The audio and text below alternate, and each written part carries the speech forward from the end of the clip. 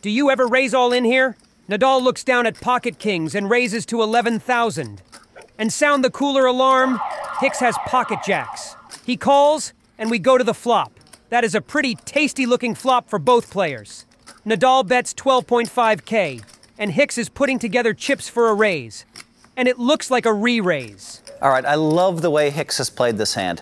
He's raised it to 32-5 on the flop. Really well done. He's kind of defined his hand. But now that Nadal has re-raised him, Hicks has a chance to get away from this hand, to take the door, to open the door, exit stage left, fold, get out of here. Save $130,000. Looks like he is not going to save $130,000.